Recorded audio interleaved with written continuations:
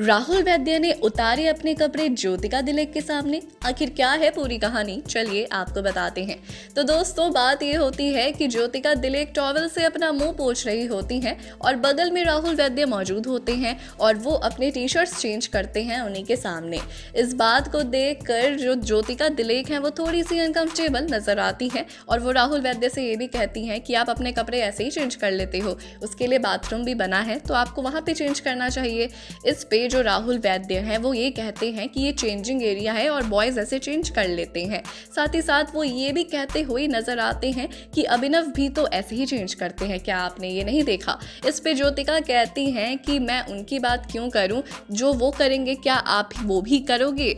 और इस चीज़ पे ज्योतिका दिलेक कहती हैं कि आप हर चीज़ को अलग ही एंगल में ले जाते हो। हालाँकि राहुल वैद्य साफ़ साफ़ कहते हैं कि अगर आप इस चीज़ से अनकंफर्टेबल हुए हो या आपको ऑकवर्ड लगा है देन आई एम सॉरी मैं इस बात का ध्यान रखूँगा। और इस तरीके से दोनों में थोड़ी सी आर्ग्यूमेंट हो जाती है। लेकिन बाद में राहुल वैद्य ज्योतिका से अच्छे से माफ़ी मांग लेते हैं, जिसके बाद चीज़ें सॉर्ट आउट हो जाती हैं।